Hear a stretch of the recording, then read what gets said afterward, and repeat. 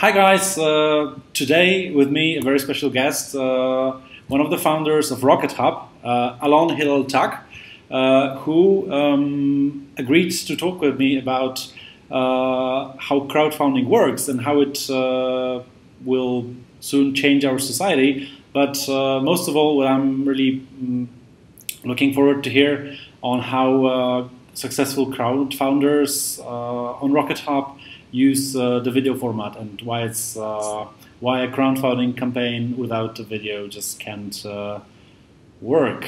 Am I right?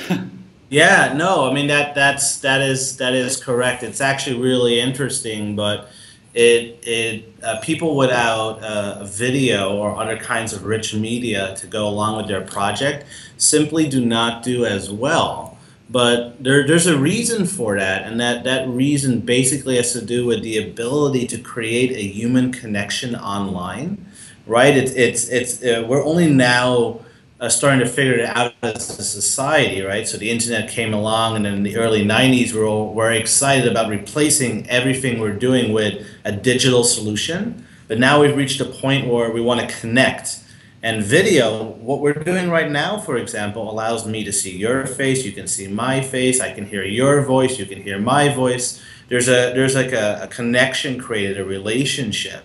And then online, you need to be able to reach out to lots of people at the same time. And really, the only way to do that is through video and voice. And video has the audio built in, so it's a fantastic format. It allows people to see you, the person, not you the HTML page. And that, that's actually a fundamental uh, that everyone should keep in mind is video is very, very important. We've seen people be around 10 times more successful with using video than when, when they don't have one. Do you uh, have any cases of campaigns uh, that were successful that didn't use the video format? Yeah, yeah, they do exist, and uh, uh, you know there is a specific reason for it. Typically, people who have campaigns that do not have video but still are successful tend to already have their whole entire audience ready to contribute. So it happens to be a very known person or a social club where you know everybody knows each other. They either play like sports together or you know they do some other kind of membership based activity and that page, you go online, everybody already understands what it is. But you're not going to get that many, you know, outsiders. You're not going to get that many strangers. You're not going to get that many new people because they need to connect with you. Uh, and by not giving them the opportunity to do so, you're limiting yourself. But sometimes a project says, you know what? We need $10,000 to buy, you know, new gear for our football team and we already know everybody who's going to contribute. We're going to send out an email and send them to this page, and they do fantastic as well. Is it um, because you know crowdfunding is a very social uh, thing? It's all about right. building a, a, society around your project. Um, how much uh, is there of a conversation uh, between the, the project leaders and, and, and the founders? Uh, how much um, and, and, and how can be video helpful in that? Uh, that would be very interesting. Yeah, I mean, I, I, I love the fact you're using the word conversation because that's really what it fundamentally is about, right? It's it has to be a conversation. Uh, a one-way street doesn't really work because people are contributing for so many different reasons that they need to feel that that bond. Uh, typically, uh, the you know the creators of the project, the, the project leaders or or campaign owners, whatever way you want to describe it, they tend to find a way to make it personal, and that's a way for them to have that conversation with those who are contributing. So they could say, yeah, let's say they're an entrepreneur and they're building uh, a new product. Let's say it's an umbrella. I don't know they might say, This is why I'm building an umbrella. Here's my personal story that inspired me to do this. And this is what is driving me to make this happen for other people or what, what I'm trying to accomplish. And that's in a way starting that conversation. And then people are able to respond by contributing, by commenting on the message boards, or sending out some other form of an email.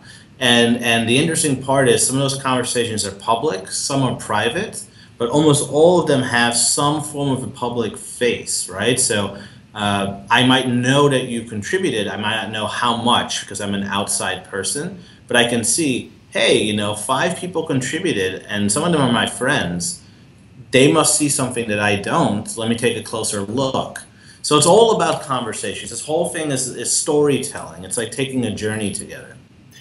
And the, the you know the, the conversation that happens around crowdfunding, uh, in my opinion, it's something that uh, can grow out of the crowdfunding platforms. Um, the, I mean, there are so many ways that the idea of crowdfunding uh, can influence the way our society works. Yeah. And um, can you say that? Uh, I mean, do you already see uh, examples of, of, of your um, users uh, using the, the maybe the platform for not crowdfunding connected reasons. Yeah, yeah. I mean, you know, it, it it's you're, you're touching on an interesting point, and is the word crowdfunding itself is kind of outdated and mainly used by like early, you know, majority people who don't really understand the space too well. It's really more about social funding, right? So when we look at that social component, I mean, our site, we've had politicians raise funds using our platform. We've had uh, social entrepreneurs raise funds for emerging markets and regions. Uh, we've had the U.S. government partner with us to raise money for political initiatives uh, around the globe. We've even had very large companies use our platform to to not raise funds, but to help people buy products socially. You know, like uh, the Dodge Dart car from Chrysler was a socially purchased car. It was the first one in history. And you know that that allowed people to get together and buy a car for somebody. And it worked. We had 70 million impressions just for that one campaign. And when you look at it like that you start saying gee you know consumerism buying inherently is social you know why do we go to one store versus another it makes us feel a certain way we have a relationship with that place or that brand reflects the type of person i want to be those are all social reasons so, you know, a lot of what we do is social. And then we start realizing that platforms like Rocket Hub are providing that tool in a social fashion online. There's so many different things we've seen. I mean, we've had medical research done through our platform. It's, it's kind of incredible. You can see a politician on one side raising funds and then uh, a scientist and a professor from a university raising funds at the same time for two different initiatives that are, have no relation whatsoever with each other, but they both are able to exist on the same platform. So, from what you saw so far, uh, I know it's hundreds of thousands of projects. Uh, yeah. Would you say that there is something that you that there is anything you could not uh, do crowdfunding for? Yeah, yeah. So you know we're a little bit unique in the space uh, you know, we're going to take an open platform approach to projects. We allow anybody to kind of launch a project and then this, the crowd curates it, which is, I think other people are now starting to follow that mechanism as well, but a lot of other platforms used to be closed. Uh, but we do require it to be legal and in good taste. And what that means is we want it to be uh, so that anybody from any age group really can browse the site and be in a safe environment. Uh, and that is something we do check for. So we don't allow certain types of projects that, that may not be appropriate for people who are of a younger age.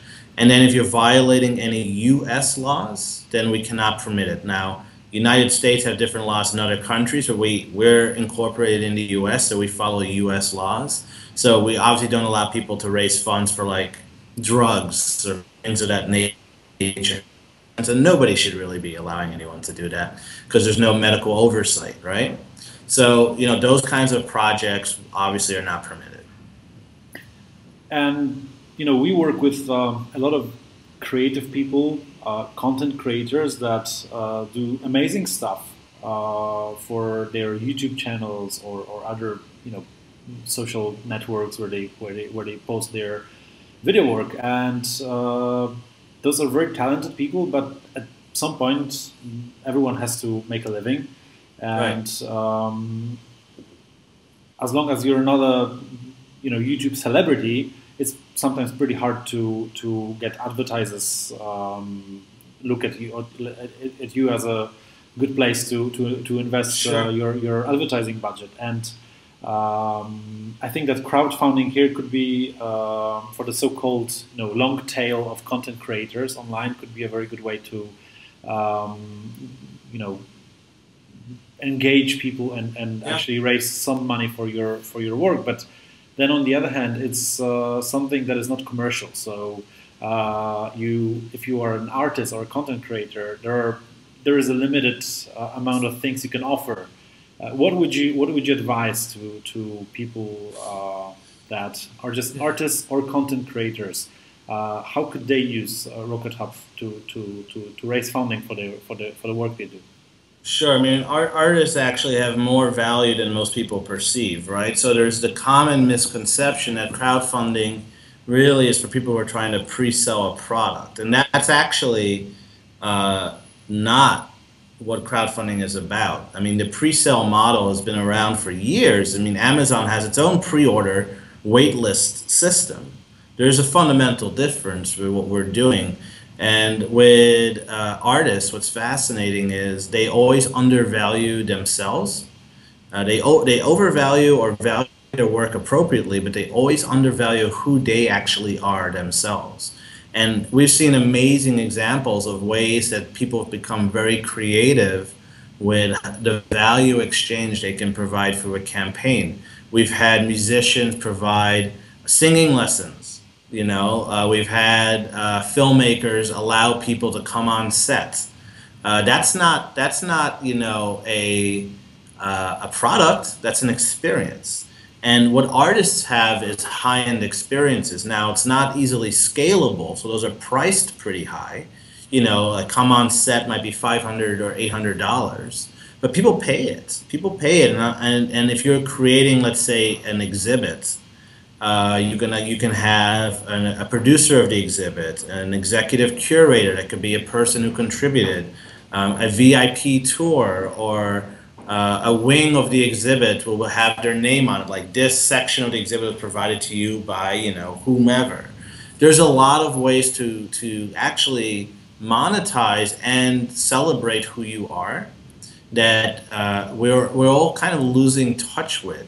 Because what, what is more important for a lot of these people is to feel part of what you are doing. And by providing that ability to feel part of what, what you are doing as an artist, uh, you, you're raising your funds. You, you absolutely are raising your funds. Uh, be creative as a creative, right? So really think about who I and what do I do and, and how can I interact with people in a meaningful way so from what you're from what you're saying, I, I can hear that um, crowdfunding can be seen uh, as an event. Yeah. Uh, and then how how much is there in, in, in as you see Rocket Hub? Uh, is it more a marketplace or a social uh, network, social platform? Yeah, right. So it's interesting because the modern day marketplace very sterile, right? So uh, we're definitely not that. Um, ways we are a network and a marketplace at the same time. It's it's just it's it's making it social again. It's we we went the last ten years. Technology has been all about removing the human components. It's it's incredible uh, everything we've done is finding ways to minimize contact. I mean, voicemail is voice, and it's hardly ever used anymore by people. Uh, you know, there's so there's so uh, many reductionary technologies out there to remove as much as possible of the human component. Uh, I mean, in New York, I don't have to go to a supermarket anymore to get food. I don't have to uh, go to a restaurant to get food. I don't have to even go to a video store to rent a video anymore. It's all done in my house, in my control, without interaction with other people. And and what we've kind of done is to say, you know what, like we are as the world a, a, a group of, of people who build. We create. We create art. We create you know music, products, businesses, and we're social creatures. So let's make it social again. Let's make it a social marketplace. Let's find a way to actually uh, not just celebrate your brand, but kind of find a way to tell your story together. And you're right, it's an event. It has a beginning, a middle, and an end. The campaign does not run forever. There is an end. And that, that, that ending is kind of uh, you know, celebratory in a lot of ways, and it motivates people to contribute. The biggest problem with the regular donate button that you see on a lot of you know nonprofits is you don't have to donate now right? You, you, you they might say like contribute and you say i can contribute tomorrow i can contribute next week. Eventually you forget or you just stop doing it. But because it's an event you will lose your opportunity eventually. And that, that actually makes it very very interesting. It taps into uh, the psychology of, of who we are and how we want to participate with other people and uh, what about the other side of the uh, crowdfunding crowd? So the entrepreneurs, because you know I'm we're at here in the middle of some uh, fundraising activities. We are doing it the traditional way, talking to uh, investors, individuals, and, and and funds. And my experience is that it's really painful yeah. Uh, it takes a, a, lot of your time away. And I'm always thinking yeah. like, hey, I could be, you know, doing actual work for the company and making it grow right. instead of having that, uh, you know, uh, talks over and over and over. And um, I'm at that point when I'm starting to think, hey, maybe crowdfunding would be a better idea. Just you know, to go out and and, and you know make people have part of my company, but uh, also make it grow maybe in a way I I uh, I cannot imagine.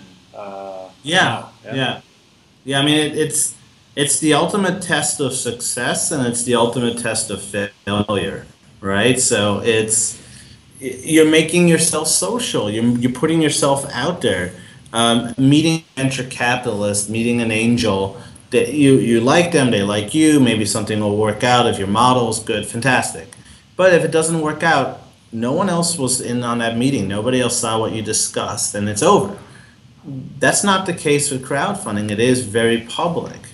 But the good, hardworking entrepreneurs who have an idea and are good communicators should be able to find a way to make that work. In fact, it's no longer an obstacle, it's an empowerment tool, right? So, a lot of times when people are afraid of it, they need to think to themselves, why?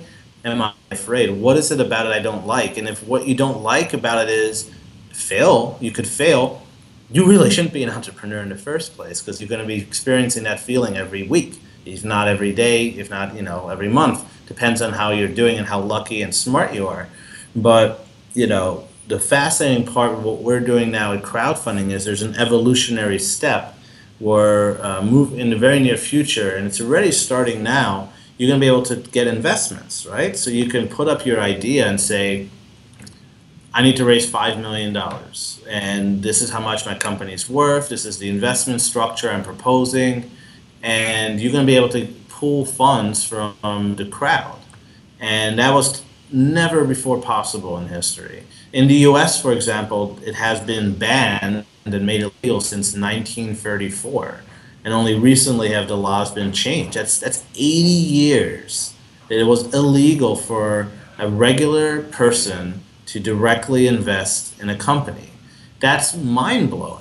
So suddenly now this is going to be possible. You're going to be able to interact with people. It's going to change the capital markets in a very very big way because suddenly angel investors are not worth as much as they used to be there's a lot of angels in the world who are only worth the value of their money, which means they're really not worth much, right? Money, money is not always what you need, and um, now suddenly they're going to be faced with the problem of, gee, we're no longer competitive with the crowd. The crowd will invest the same amount of funds, sometimes on a better deal term.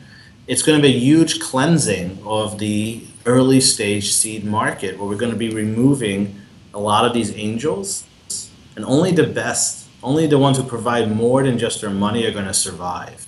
So it's not it's, uh, it's not smart money anymore. It's social smart money, which is even you know even better. Yeah, it's even better because think about it. Let's say uh, you know you're in Berlin and you're, you're you have a local coffee place you go to and they raise money and you invest in them.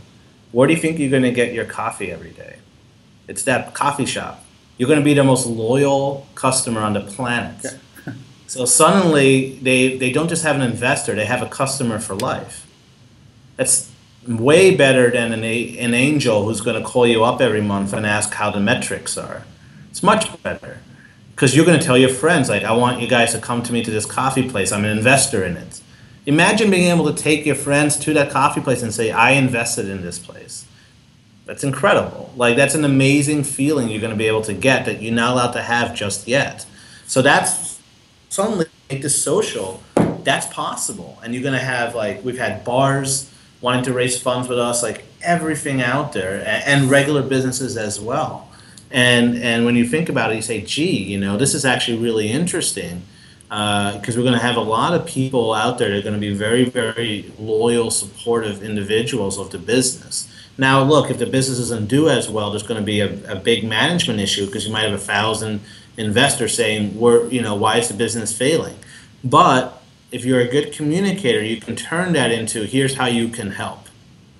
And you know, there's a lot of ways a thousand people can help you that is more impactful than one, right? One who has just out there are going to be very, very beneficial moving forward. They, they understand how to structure businesses. They understand how to develop new de- business development leads, sales, product. They know where you can hire people and experts. Those kinds of investors, always worth it. They, they, they, they're more expensive, their money, but their their their value is there. But you notice there's a lot of people out there who just like investing, and they right now happen to be rich angels, so they're doing it. But that's all they are is rich people with money, and you don't want those kinds of people.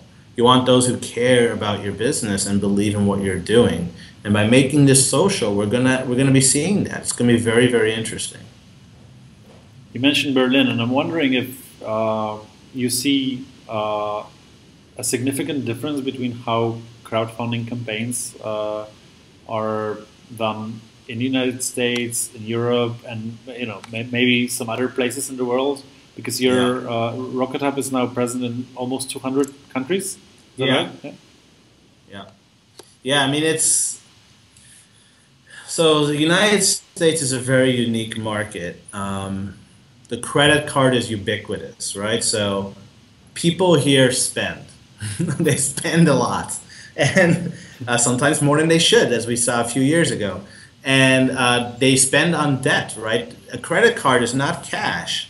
When you swipe your credit card, you promise that you'll pay at the end of the month, right? And that's how we spend here. We're, we're okay with this, which is insane. Uh, you know, we're okay using every day. I, I, I use my credit card to buy like a bottle of water in the store. So I, I'm creating a debt agreement for a dollar. Like it's it's it's it, it, you know it, it's bonkers. But because of that, we have a lot of very advanced payment technologies online that are very secure, very sophisticated. Our users are comfortable with it. We we like to, you know, contribute in ways, and you know we find alternative means of payments okay, like Dwolla does direct to bank. Stripe is like the most developer friendly payments tool I've ever seen on the planet. And, um, you know, we're okay using it. Germany, not so much. Germany, like, the biggest thing we get is everybody wants to use PayPal. Everybody wants to use PayPal. And, you know, PayPal's a very interesting company. They're one of the first adopters uh, they're getting they're running a little bit behind everybody else when it comes to technology and definitely support.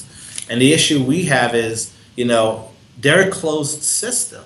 You know, if you're you're, either part of PayPal or you're not. Play. So we do accept PayPal, but the issue with Germany is you have to, you cannot introduce new technologies to the Germans. Like they freak out. They say, "This is what I'm used to. This is what's safe." This is what I'm going to use. If you don't have it, I'm everything. So there's going to be some slower adoption because of that. But what, what's really fascinating about the German market is first off, it's a massive country, it's well developed, has a, very, a relatively good social structure. The entrepreneurs are able to launch their businesses in relative safety. There's less risks you have to take, but the people wanting to contribute aren't risk takers. It's a very risk adverse society, I've noticed, right? Everything has to be calculated, everything has to be predicted, projected. And uh, when it comes to raising capital for an entrepreneur, not just crowdfunding, but just investing or starting a business, you're you, it's kind of like you have this barrier that is your culture, I know. right? I right. hear you. So yeah, so uh, I'm sorry you're going through that, but it's tough because you have you, you guys. There's so many great ideas that coming out of these pockets. Berlin is definitely a hotspot for that, and it's it's uh, society is not recognizing it just yet. Uh, they like to recognize established players, right? Like the, the pride and joys are, you know, well-made machines. So what? Like make a new machine, like find a new product. There's less of an encouragement to do that. They'd rather see a large company innovate and create a new product than a new company create a radically different way of doing. So when you realize that, it there's a lot of other friction points in the market. But what the beautiful thing is, the German entrepreneurs found a way to solve for that, and they found ways to make it work to the best of their ability. They either find resources in Germany or they go outside of Germany. Uh, you know, our offices are right here in Midtown uh, Manhattan, and we have like ten German entrepreneurs that, that work in the space right across. People are finding ways to make it work. Uh, now, naturally, Germany would, should want to keep its innovation as much as possible in Germany, and that's something that to solve together with the governments. Um, and that governments are slow, but if you find the right people, there are ways to make that work. Uh, you know, co-work, uh, uh, proper co-working spaces is a first example I would always use is create a hub. Find the most successful German companies, maybe not Rocket Space because they tend to copy every American innovation out there over and over and over. But you find another company that's really actually doing their own innovation and not copying, and you put them in a co working space and you create lectures, educational series, and bring German entrepreneurship to a new level of understanding, and you, you'll be able to start creating a solution. And before we finish, uh, I would like to go back to the video, uh, to talking about video. Um, we now see that uh, live video streaming and live video events uh, get more and more popular. Can you imagine that uh, the also how you know crowdfunding works on, on, on Rocket Hub could evolve to to um, a situation where you have a fundraising event just done live for you know just one hour and whatever happens you know you, you just have this one hour or, or 10 hours but it's all live. Would you would you think that this would uh, be a good idea? Is this possible Yeah, it is. I mean, we we already see it. So we have live events now that happen with crowdfunding attached. So you know, Rocket Hub is uh, a very big and comprehensive platform. Most people don't realize just how much it actually does. Um, you know, what most individuals see is our consumer side, but on our commercial side, when we work with other brands, we do live events all the time. So the Dodge Dart campaign I mentioned earlier, those are those uh, incorporated advertisements during the NFL playoffs, when millions of people are watching television, and it created an opportunity for them to interact. Um, we've had live events with virtual currency cards, where people were given cards in their bags and they were able to during an event for one hour there were tablets everywhere and they were able to contribute to a campaign live uh, taking that a step further i do believe that there will be one day um, like almost like uh, like an ama event with reddit you know like like there will be uh, a live stream session for people raising funds where they say you can ask me any question and i'll happy to answer it uh, now whether or not that's going to happen for equity for raising, you know, capital. That's a little bit different because you have regulatory bodies there like the SEC and FINRA and groups that really don't like you you know, making a misstatement, and I think entrepreneurs are going to be a little worried they're going to say the wrong thing. So there is going to be a few moments like, but we still have to make a solution for it, and there isn't one yet. Okay. Yeah. Sounds really interesting, and I'm excited to, to you know to see it happening actually. Yeah, we're in the moment. And uh, yeah, I just wanted to thank you for you know sharing all this uh, knowledge and your experience. This is really was really interesting, and uh, I mm, what what else can I say? I hope to see you uh, sometime again soon.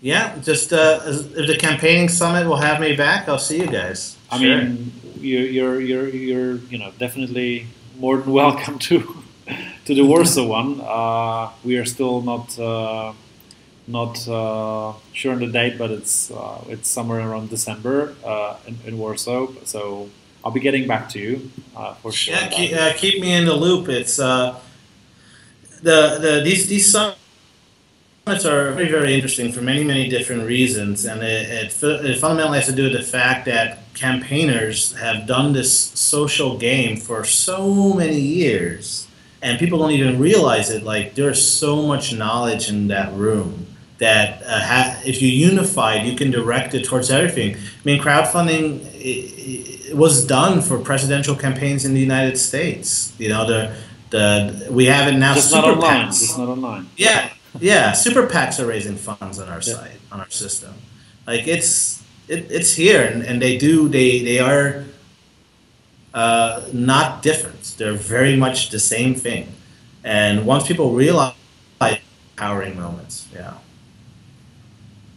Alon, again, thank you very much for for sure. for your time, uh, and uh, thanks everyone for for listening to us. Because um, you know it's uh, it has been a long long video, uh, much longer than the traditional YouTube video should be, but I think uh, I think it's worth uh, it's worth the time. Uh, and yeah, thanks again, and uh, see you soon.